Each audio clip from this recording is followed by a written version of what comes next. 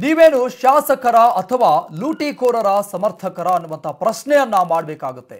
ತಮ್ಮ ದುಂಡಾವರ್ತನೆಯ ಹೇಳಿಕೆಯನ್ನ ರೇಣುಕಾಚಾರ್ಯ ಅವರು ಸಮರ್ಥನೆ ಮಾಡಿಕೊಂಡಿದ್ದಾರೆ.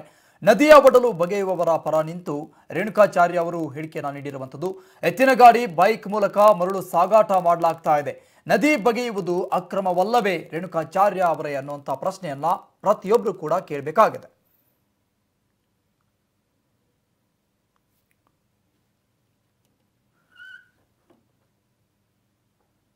ಶಾಸಕ ರೇಣುಕಾಚಾರ್ಯ ಅವರ ವರ್ತನೆ ವಿರುದ್ಧವಾಗಿ ಕೆಲವೊಂದಿಷ್ಟು ಆಕ್ರೋಶಗಳು, ಆರೋಪಗಳು ಕೇಳಿ ಬರ್ತಾ ಇರುವಂಥದ್ದು.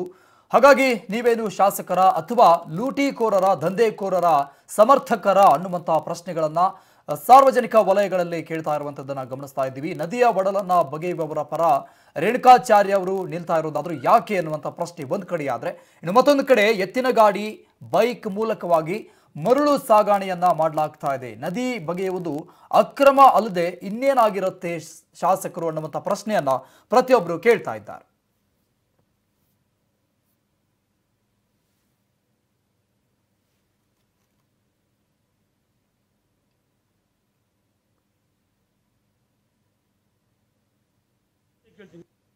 ಅಕ್ರಮ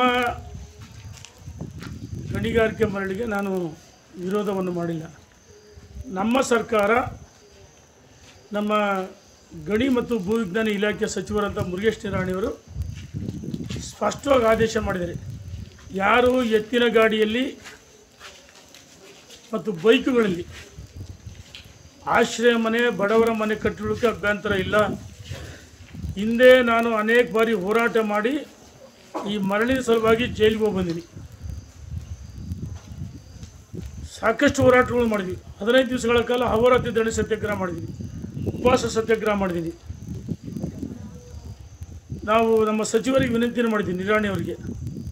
ಆಶ್ರಯ ಮನೆ, ದೇವಸ್ಥಾನಗಳು, ಮಸೀದಿಗಳು, ಚರ್ಚ್ಗಳು ಕಟ್ಟೋದಕ್ಕೆ